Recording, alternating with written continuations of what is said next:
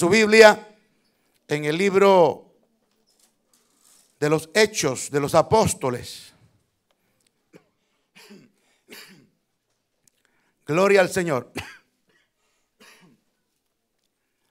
Hechos de los Apóstoles en el capítulo 16. Hechos capítulo 16. Vamos a leer tu versículo 16 en adelante. Ya encontró, hermanos, si no tiene Biblia usted en su mano, quizás un invitado, primeras veces que viene a la iglesia y no tiene Biblia, ahí va a estar siendo proyectado en la pared. Aunque si usted es cristiano, hermano, ande la Biblia, traiga su Biblia. Nunca, hermano, es la identificación, el arma, la espada, la bandera de la patria celestial. Amén. Si usted siente vergüenza, siente pena todavía, usted no está bien convertido. Porque el diablo puede ser que le que le, hace sentir pena andar en la Biblia. ¿Por qué va a tener pena de andar en la palabra de Dios, que es poder? Amén. Usted que nos ve en casa, en su televisor, lea la palabra del Señor, ahí la van, a, la van a poner enfrente a la pantalla para que usted pueda leer con nosotros también. Leemos Hechos 16, versículo 16. En el nombre del Padre, del Hijo y del Espíritu Santo. Aconteció que mientras íbamos a la oración nos salió al encuentro una muchacha que tenía espíritu de adivinación, la cual daba gran ganancia a sus amos adivinando. Esta siguiendo a Pablo y a nosotros daba voces diciendo, estos hombres, y estamos en el 12, siguiendo a Pablo y a nosotros dando voces diciendo, estos hombres son siervos del Dios altísimo, quienes anuncian el camino de salvación. Y esto lo hacía por muchos días. Mas desagradando a Pablo, este se volvió y dijo al Espíritu, te mando en el nombre de Jesucristo que salgas de ella. Y salió en aquella misma hora. Pero viendo sus amos que había salido la esperanza de su ganancia, prendieron a Pablo y a Silas y los trajeron al, al foro ante las autoridades. Y presentándolos a los magistrados, dijeron, estos hombres, siendo judíos, alborotan nuestra ciudad y enseñan costumbres que no nos es lícito recibir ni hacer, pues somos romanos. Y se agolpó el pueblo contra ellos y los magistrados, rasgándoles las ropas, ordenaron azotarles con varas.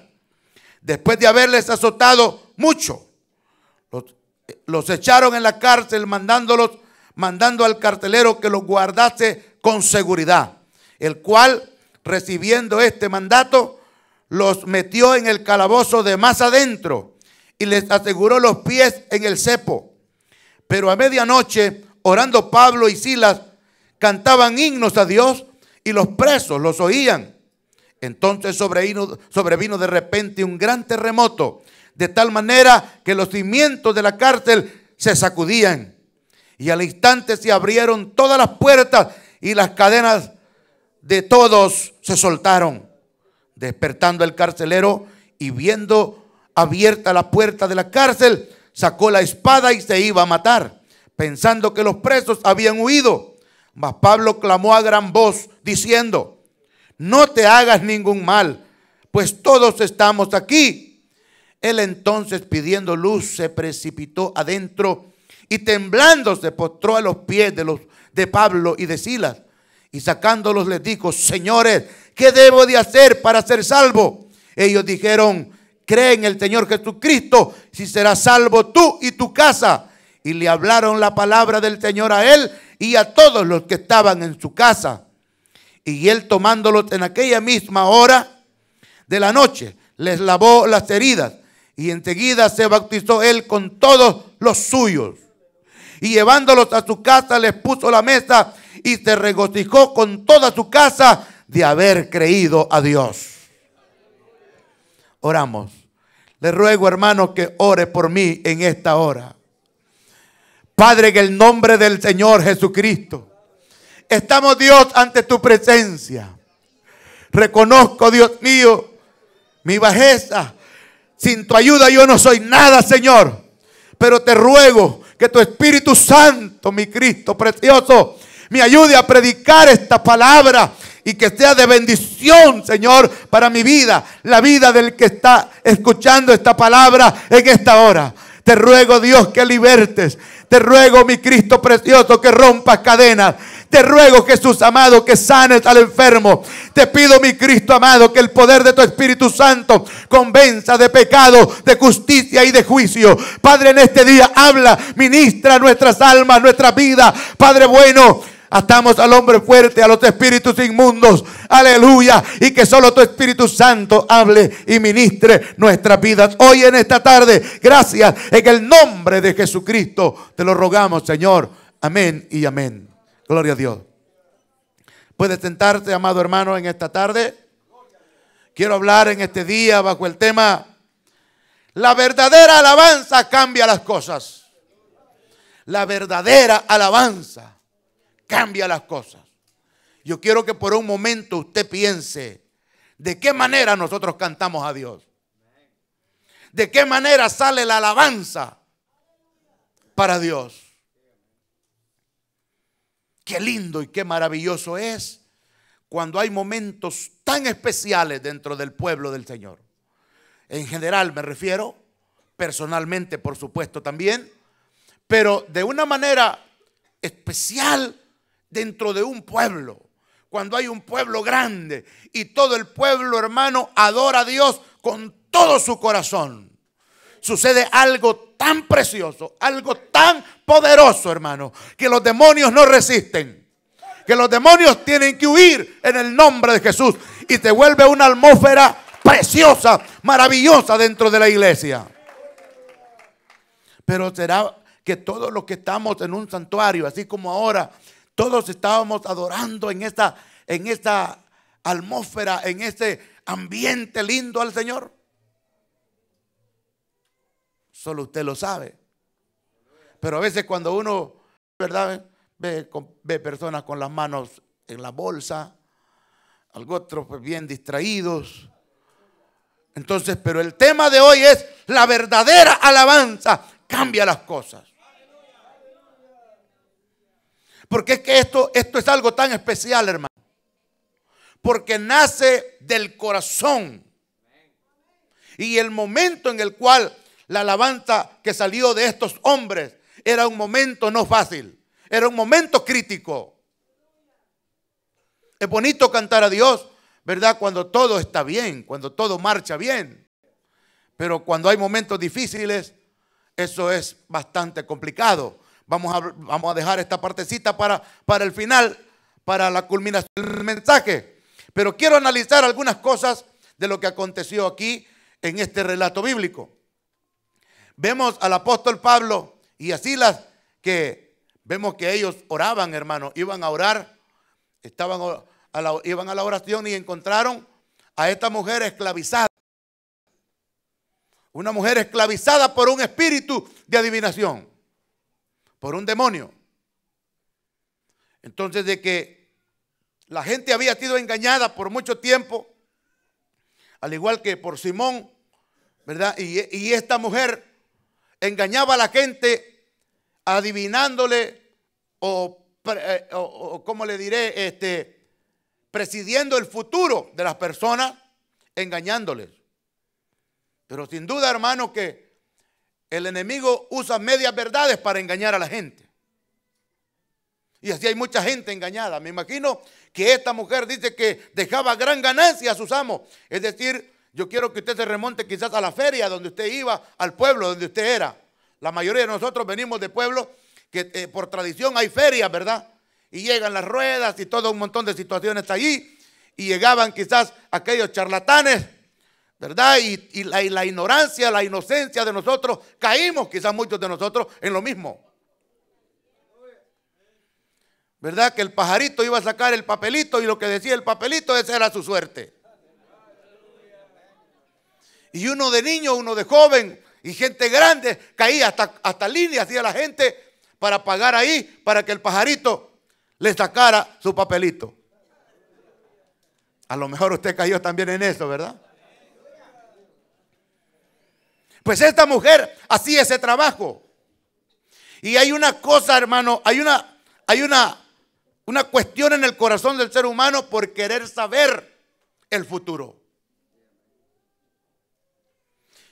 Y yo no sé por qué la gente, hermano, no viene al Señor. Si el futuro es tan claro que con Dios, con Cristo, usted irá a las mansiones celestiales al cielo. Y el futuro que le espera sin Dios es algo catastrófico, algo terrible. Pero hay esta necesidad en el, en el ser humano, querer saber el futuro. Querer saber, ¿verdad? Y aquí en la palabra del Señor está todo, hermano. Aquí está el pasado, está el presente y está el futuro. En la palabra de Dios está todo. Entonces había una mujer esclavizada que ella, la gente creía que era una, era un, como así decirlo, un profeta, pero falso. La falsa profecía o una profetisa de Satanás. En este caso, aunque, aunque hoy en día adentro de las iglesias han entrado algunas parecidas a esta. Que de profetas del Señor, profetas de Dios, y hay muchas hermanas en la iglesia, muchos hermanos en la iglesia que miran los mensajes, las predicaciones de estas tal falsas profecías, hermano. Falsas profetas, falsas profetizas. ¿Quién le puede dar si el Señor dijo que de la abundancia del corazón habla la boca? Si usted ve a una mujer sensual, toda pintarrasqueada con grandes aritos, que se, que se manda a hacer hasta los, los pechugones, ¿verdad? Entonces dígame qué clase de mensaje le va a dar si está endemoniada esa, mujer. O ese falso profeta que se pone trajes caros y que anda, ¿verdad? Orgulloso, arrogante, con, con, con guaruras, con guardias de seguridad. ¿Qué le puede dar? Entonces han existido, existían en la calle. Vemos entonces que había una falsa profetisa del diablo que engañaba a mucha gente. Pero ocurrió algo, hermano, que es triste en el ser humano. Las personas a veces en ver algo maravilloso y grande que Dios hace en una persona, se enojan en vez de alegrarse. Dice que la gente, especialmente sus amos, dice que se enojaron porque perdieron toda esperanza de ganancia. Que la gente por dinero son capaces de entregarle el alma a Satanás. Entonces, ellos se molestaron. Eh, ocurrió algo parecido a lo que ocurrió en Gadara, cuando Jesús reprendió al demonio del endemoniado gadareno, que dice que dormía en los sepulcros. Y los dueños de los chanchos, ¿verdad? Los dueños de los cerdos, ¿No cree usted que estaban agradecidos porque aquel hombre que por cuántos años andaba ahí, hermano, todo mugroso, quizás sin ropa, durmiendo en los sepulcros? Ellos no se alegraron por eso que estaba, dice, en su cabal juicio. Hasta algunos de los discípulos quizás le tiró la, túnica encima, ¿verdad? Le echaron su, túnica encima para cubrirlo. Pero la gente en vez de alegrarse por aquello, estaban corriendo a Jesús y le empezaron a decir, brujo, váyanse de nuestros contornos, váyanse de aquí. Así hace la gente, hermano en vez de alegrarse por el cambio que Dios ha hecho en una persona, se enojan. Incluso a veces hasta la misma familia. Es triste ver a veces jóvenes que vienen a la iglesia y sus padres no quieren venir. O se los impiden en vez de alegrarse por lo que Dios ha hecho en la vida de aquella persona. Amén. Entonces vemos la dureza del corazón de las personas cuando Dios hace algo maravilloso. No glorifican a Dios por la obra tan grande que Dios ha hecho. También podemos ver algo bien importante aquí en este relato bíblico y es la importancia del discernimiento espiritual. ¿De quién es el que le habla a usted?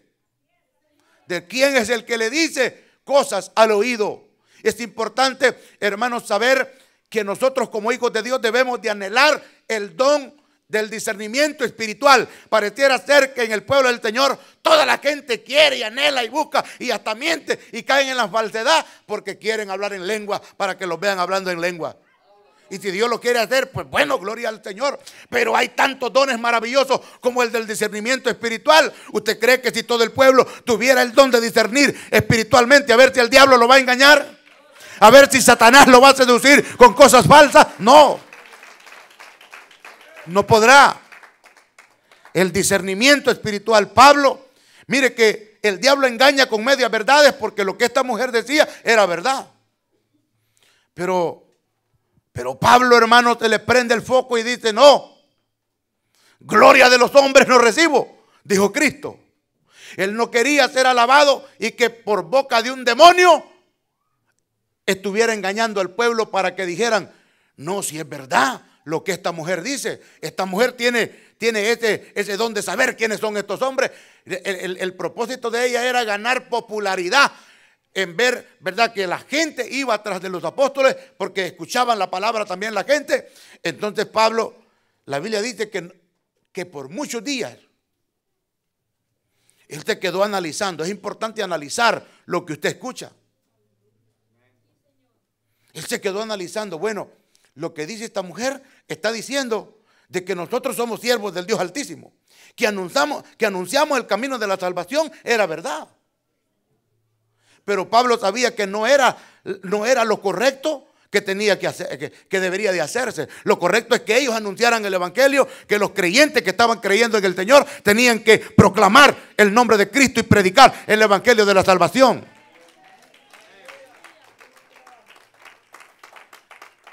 Y como punto número tres,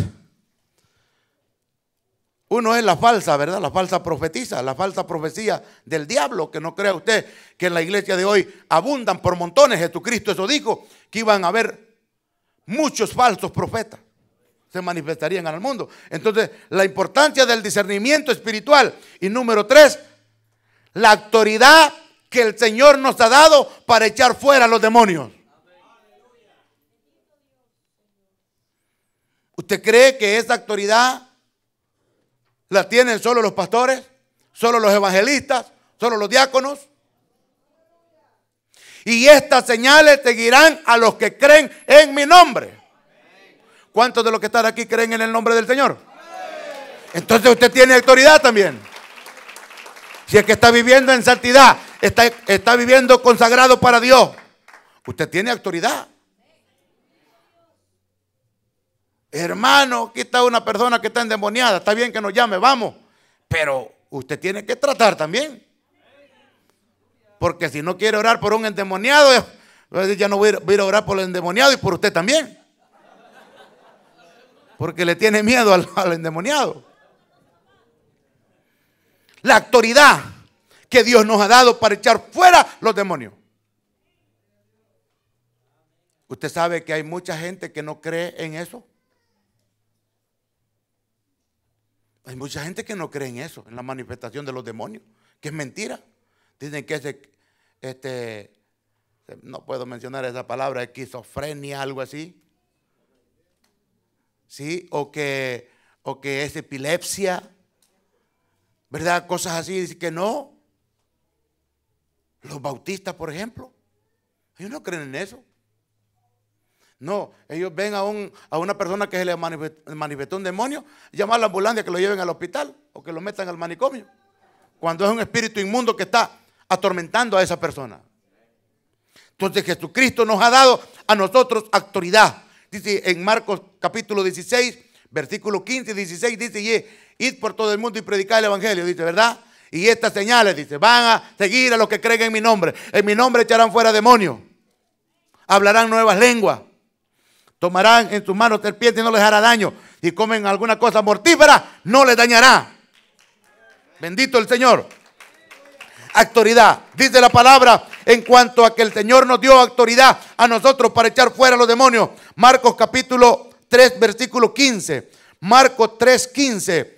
Dice la palabra del Señor. Y que tuviese enfermedades y para echar fuera demonios. El Señor dio esta autoridad a todos los creyentes en Él. Si usted nunca ha tenido la experiencia de estar en una, en una liberación de una persona, usted necesita ver eso para que crea. Aunque déjeme decirle que no necesita ver para creer, porque en el Señor no es ver para creer, aquí es creer para ver. Amén. La autoridad que Él nos ha dado. Créame que cuando uno ve el poder de Dios manifestándose, reprendiendo un demonio, echando fuera un demonio de una persona poseída, Uno crece en fe, hermano. Al ver que lo que está escrito en esta palabra es poderoso. Que la palabra de Dios cobra vida. Que es mentira lo que dice Satanás. En la Biblia del diablo, allá los, los versículos bíblicos de Satanás, que el papel aguanta con lo que le ponen. ¿Cómo? Si es palabra viva, palabra de Dios. Usted le dice a un endemoniado que el demonio se vaya en el nombre de Jesús y tiene que irse ese demonio. El Señor cumple su palabra. Hemos tenido experiencias con personas que han estado bien endemoniadas, bien poseídos. Y Dios los ha liberado. Y al día siguiente otra vez endemoniado. Y vamos otra vez y el Señor los libera. Y al, al siguiente día endemoniado otra vez. Y la gente dice, bueno, ¿y qué pasó pues? ¿Y qué pasó aquí? Claro, nosotros vamos en el nombre de Jesús, Dios nos ha dado autoridad, vamos y oramos y el demonio se va. Pero ¿qué pasa con el, con el que está el que ha estado endemoniado, emposeído? Le abrió, le abrió nuevamente puertas al demonio para que venga. Jesucristo dijo, el demonio sale y la casa queda limpia, pero dice, no, volveré. A donde salí voy a volver. Entonces así pasa a veces que la, persona poseída queda libre, vuelve a pecar. Entonces la persona le abre puerta al demonio y vuelve a quedar poseída. Entonces, pero lo lindo de esto es que usted tiene que saber que el Señor ha dado autoridad a usted. Que el Señor me ha dado autoridad a mí para echar fuera los espíritus inmundos y lo podemos ver aquí en este relato bíblico del apóstol Pablo. No importa el tamaño, no es lo fuerte de su voz o porque grite duro, no. Es la autoridad que el Señor nos ha dado. Eso es como que usted va manejando en el freeway y un state police, aunque sea pequeñito, de esos que andan sombreritos, ¿verdad? Los, troopers. Se para a media calle. Una vez iba, iba para allá, para donde bautizamos, pasando Town hermano, la calle es un poco bajada y agarra impulso el carro. Y se para un policía a media calle. Mira, este qué le pasa, dije yo, me está estorbando. Hasta le quería pitar, pero de repente vi que era un policía, tuve que parar. Eso fue hace muchos años, hermano. Hace muchísimos años que íbamos a un bautismo de la iglesia donde yo acepté a Cristo. Venía muy rápido, la verdad sí, le dije yo. ¿Para qué va a andar peleando con él? Me quería un ticket, creo que fueron 300 dólares que me dio. Hace, hace 19 años atrás. Era pequeño. ¿Por qué? Porque el Estado le dio autoridad. El uniforme, la placa de policía que lleva. Sea un grandote, pues también. Usted no se sienta menos, usted tiene la misma autoridad porque el Señor Jesucristo ha dado autoridad a aquellos que creen en Él, aquellos que se santifican, que se consagran, amén, viviendo para el Señor. Usted tiene el poder, la autoridad para echar fuera a los demonios. ¿Qué dice 2 Corintios 12, 12? 2 Corintios 12, 12. Vamos a ver qué nos dice. Con todas las señales de apóstol, entre paciencia, por señal, prodigios y milagros. O sea, esta era, hermanos, la evidencia, las señales que ellos hacían, porque el poder de Dios se manifestaba en ellos y la gente se golpaba, amén, para escuchar la palabra del Señor. Entonces vemos, hermano, como punto número tres, que usted y yo tenemos autoridad de parte de Dios para echar fuera a los demonios. Ahora, aquí la pregunta del millón. Voy a dejar para último, hermano, la partecita de cuando estos hombres adoraban a Dios. Pero el carcelero hizo una pregunta bien, yo le llamo a esa pregunta la pregunta del millón. Toda gente, todas las personas que no conocen la Biblia, que no han oído de Dios, se preguntan, ¿y, cuál es la, la, religión verdadera? ¿Qué tengo que hacer para ser salvo? Y estos apóstoles, estos le, le dijeron, cree en el Señor Jesucristo serás salvo tú y tu casa. Usted se está preguntando qué tiene que hacer para ser salvo. Creer en Jesucristo con todo su corazón. arrepentirse de sus pecados, aceptarlo a Él como Señor y Salvador y usted será salvo. Amén. Entonces, punto número cuatro es que la verdadera alabanza cambia las cosas. El apóstol Pablo estaba encarcelado. Y si hay una cosa horrible en esta vida es estar preso, hermano. Aquel que ha tenido la mala experiencia, o más bien la buena experiencia a veces, porque de las cosas malas Dios hace cosas buenas. Sí, yo a veces me he querido encontrar el policía que me paró cuando andaba borracho para darle la mano y agradecerle. Porque si no hubiera sido ese hermano, estuviera en el infierno quizás, me hubiera muerto ya. Pero es horrible estar preso.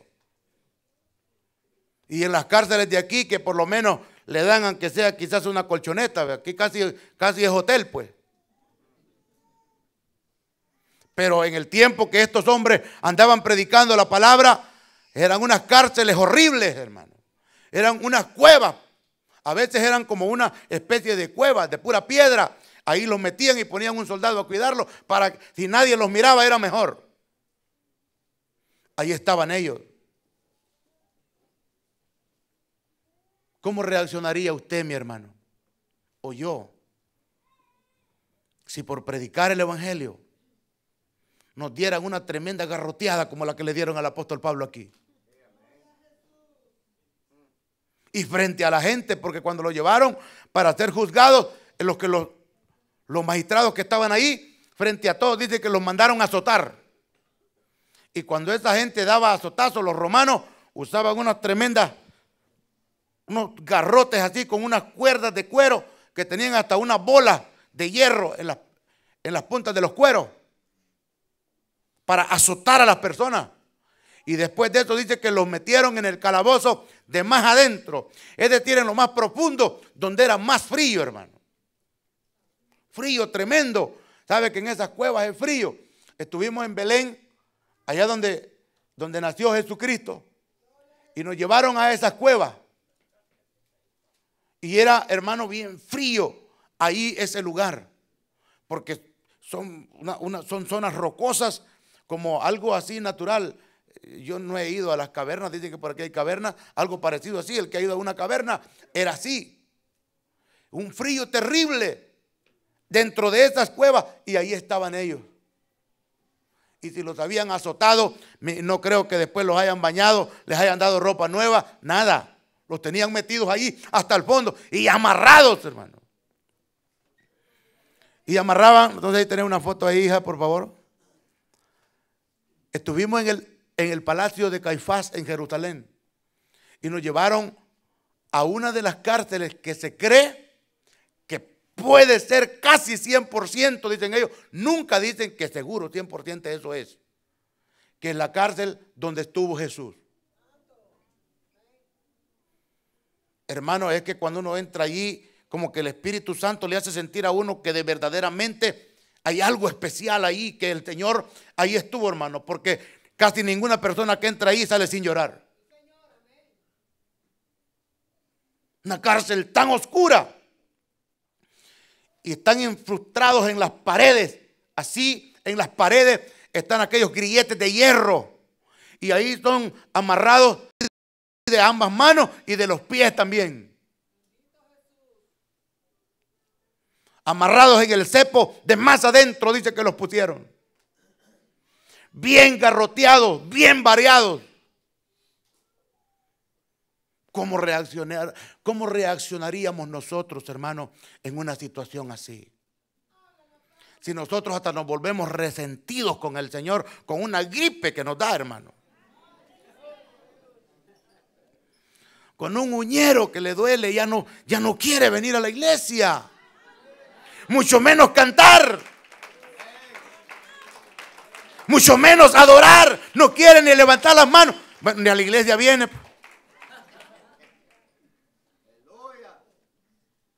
¿Cómo reaccionaríamos nosotros, hermano, en una situación así? Pero cuando en estas circunstancias sale la verdadera alabanza de lo más profundo de su corazón. Ahí es cuando el Señor eh, hace obras maravillosas. El Señor rompe cadenas. El Señor sana a los enfermos. El Señor liberta a los cautivos. La verdadera alabanza cambia las cosas que están a nuestro alrededor. Las cadenas se caen. Los yugos son podridos por la unción del Espíritu Santo.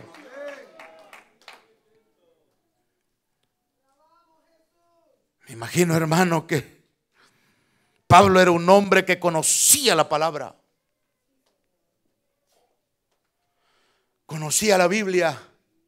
Y me imagino, hermano, que estaban, dice que era medianoche.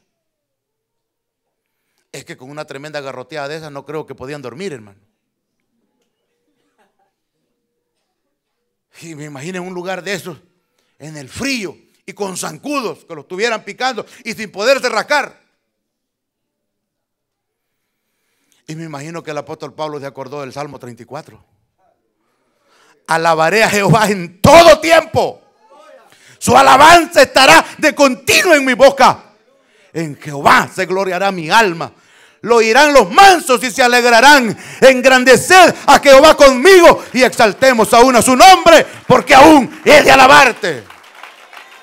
Alabar a Jehová en todo tiempo. Dios hizo un milagro, dijo hermana Judy. Yo le creo. Me acuerdo una vez que Dios hizo un milagro instantáneo en mi cuerpo. Andaba trabajando, era el mediodía. Y yo dije, Dios mío, ¿qué hago? No aguantaba una fiebre que usted siente que los huesos ya se le van a quebrar. Y, y andaba yo, hermano, una ruta larguísima trabajando de. Me siento un rato y Dios mío, ¿qué hago? Le hablo al jefe, pero van a decir que no pueden. Me va a tocar esperar dos horas, va a salir peor. Me pongo a cantar, hermano. Pero alabanza de lo más profundo de mi corazón.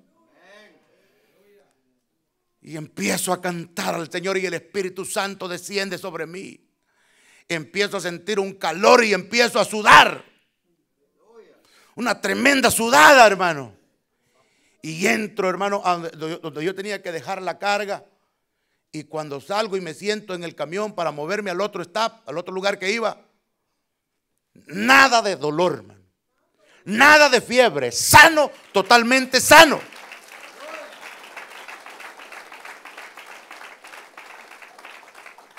La verdadera alabanza cambia las cosas en vez de murmurar, en vez de criticar, en vez de hablar, y Dios, ¿por qué mi Dios?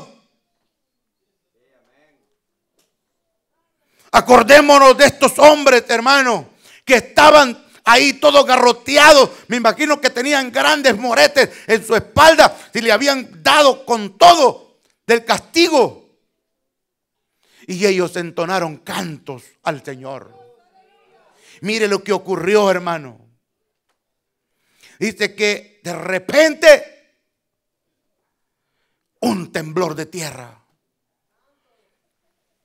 Y donde estaban amarrados aquellas cadenas, pero dice que sus cadenas se soltaron, es porque estaban incrustados así en, la, roca, en las paredes, las cadenas que ellos lo tenían. Y el temblor botó las paredes y ellos se encontraron sueltos totalmente. Y cuando dice que el hombre, el, soldado que estaba ahí cuidando, pidió luz, porque no crea que nomás era detrás de la puerta de la cárcel y darle el switch para arriba para que alumbrara. No, si no existía la luz eléctrica en ese tiempo. Se alumbraban con una antorcha. Y aquel hombre, al ver el temblor y al ver que las paredes habían caído, y empezó a ver a los primeros, y como estaba tan oscuro que no miraba, y pidió la luz, y le trajeron la luz y empezó a ver. Dijo, aquí se fueron todos, digo, y mejor ah, sacó la espada, agarró la espada y dice que iba a matarse, iba a suicidarse él. Porque el castigo para un, para un soldado que dejaba escapar un preso para el imperio romano era el peor crimen que podía cometer un soldado. Tenía que morir de una manera vergonzosa. Públicamente lo ahorcaban o lo, lo crucificaban lo escupían o lo decapitaban. Él dijo, para pasar esa vergüenza, mejor aquí yo mismo me voy a, a suicidar, así dijo él. Pero Pablo que sabía, hermano, le dijo, no te hagas daño, todos estamos aquí. Mire lo que Dios tiene que hacer para salvar almas, hermano. Es que mire la persecución, en la persecución Dios siempre se ha glorificado. Cuando nosotros sufrimos, hermano, es por algo. Dios quiere hacer algo. No murmuremos. Algo quiere hacer Dios, hermano. ¿Usted cree que aquellos todos, aquellos presos no se salvaron? Claro que sí. Y vino el, soldado, el cinturión, y, le dijo, Dios mío, ¿y qué, yo tengo que hacer para ser salvo? Me imagino que este soldado, ¿sabe por qué le preguntó, hermano? Que qué tenía que hacer para ser salvo. Porque él sabía que ellos sabían qué tenía que hacer él para salvarse. Me imagino que quizás él como soldado, quizás había estado en la plaza cuando escuchó lo que la bruja decía. Estos hombres son son siervos del Dios Altísimo. Ellos os enseñan el camino de la salvación. Me imagino que el soldado dijo ahí, no, estos saben qué es lo que tengo que hacer. Y de veras que sí sabían. Y le digo, cree en el Señor Jesucristo, serás salvo tú y toda tu casa. Bendito el Señor Jesucristo. Y yo quiero, hermano, decirle hoy el gozo que hay en una casa cuando un alma se salva. el gozo que hay en una casa cuando llega la salvación. Vemos aquí que dice, hermano, eh, vamos a ver si puedo encontrar los versículos. Sí, en el versículo 33 del pasaje que leíamos, y dice, y él tomándolos en aquella misma hora de la noche les lavó las heridas. Mire que en ese momento, hermano, la compasión de aquel hombre. Un soldado es un hombre duro, rústico, insensible al dolor, porque ese es el trabajo de ellos. Infundir temor, infundir miedo a las personas. Pero dice que les sanó, las, les lavó las heridas. Y el mandándolo dice, en aquella misma hora de la noche lavó las heridas y enseguida se bautizó él con todos los suyos. Esto quizás se refiere a los soldados que estaban con él. Quizás habían más, pero más adelante dice, que, mire, se bautizó con los suyos y luego se lo llevó a la casa. Les puso la mesa y se regocijó con toda su casa de haber creído en Dios. O sea que se salvaron unos allá y otros en la casa. Me imagino la algarabía, el gozo que había cuando llegó la salvación a esa casa. Es que hay alegría y hay gozo cuando la salvación llega a una casa, hermano. Como decíamos en Alcohólicos Anónimos, cuando el borracho deja de beber, hasta el perro descansa, decíamos. Vuelve la paz, hermano. Aquel borracho que llegaba bravo, queriendo pelear. Aquel bolo que llegaba gritando, ya no va a llegar gritando. Aquel que llegaba sin dinero, hoy va a llevar todo el cheque a la casa. Aquella vanidosa que se gastaba el, dinero en cosas que no valen la pena, hoy lo vas a ver invertir, pues. Como que no va a haber alegría, como que no va a haber algarabía, como que no va a haber gozo. Cuando el Señor llega a un lugar, el Señor cambia las cosas. Bendito sea su nombre. El gozo, el gozo que habrá en tu casa, en tu familia, el día que tú aceptes a Cristo. Yo he podido ver esto, hermano, con personas que la familia misma ha quizás pensado decir, este no tiene remedio. Este no hay quien lo componga. Este está arruinado. Este así va a morir. No, para el Señor, hasta los muertos resucitan. Alabado el Señor. Para Cristo vale la sangre del Señor. Para usted tiene un valor grande. Amén. Invítelo a Él. Pregunte ahora a usted, al igual que este hombre que no sabía, digo, señores, díganme qué tengo que hacer para ser salvo. Si usted está aquí y se hace esa misma pregunta, quiero decirle y le vamos a responder que lo que usted tiene que hacer es reconocer que usted ha pecado contra Dios. Que usted se ha rebelado contra Dios. Que usted ha desobedecido a Dios. Y no hay nadie que pueda decir, no, yo no he ofendido al Señor, yo no soy tan malo. No, la Biblia dice que todos somos pecadores, que no hay justo ni aun uno, dice la Biblia. La Biblia dice que si alguno está pensando que no, ha, que no ha cometido pecado, dice que el amor de Dios no está en usted. Y que usted está haciendo a Dios mentiroso. Imagínense. El pecado más grande que puede cometer la persona es negarse a creer en Jesucristo. Él es capaz de salvarlo. Él es capaz de libertarle de las cadenas que atan su vida a la maldición del pecado, a la desgracia. Así como llegó a rescatar a estos hombres de esta cárcel física, el Señor te puede rescatar a ti de esta cárcel invisible que no la podemos ver. Estos tenían cadenas. Tú también tienes cadenas que nadie las puede ver, pero que no las veamos físicamente no quiere decir que no están ahí.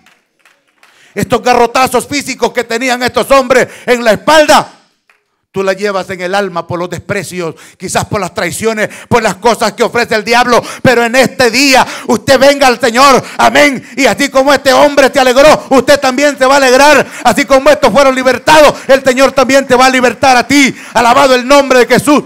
Habrá algarabía aquí en la tierra y también en el cielo. Porque la Biblia dice que hay fiesta en los cielos cuando un pecador se arrepiente. ¿Le gustaría a usted en este día aceptar a Jesús? Yo quiero que agachemos nuestra cabeza en señal de humillación, en señal de reverencia al Señor. Usted quizás no está en una prisión física y está ahí lleno de dolor por las situaciones en su vida. ¿Qué ha hecho usted? Murmurar, criticar preocuparse, quizás ha entrado en depresión. En este día yo quiero decirle que mejor cante al Señor que mejor alabe y adore al Señor, que el Señor cambiará ese lamento en baile, que el Señor cambiará esa situación que usted está pasando ahora en óleo de alegría. ¿Será que alguien esta tarde quiera aceptar a Jesús? Aquel hombre preguntó, señores, ¿qué debo de hacer para ser salvo? Y ellos le dijeron, cree en el Señor Jesucristo. Serás salvo tú y tu casa. Si tú vienes a Cristo ahora, no solamente te vas a salvar tú, sino que Dios te va a usar a ti para que pueda también tu familia, tu casa, alcanzar la salvación. Si usted quiere aceptar a Cristo en esta tarde,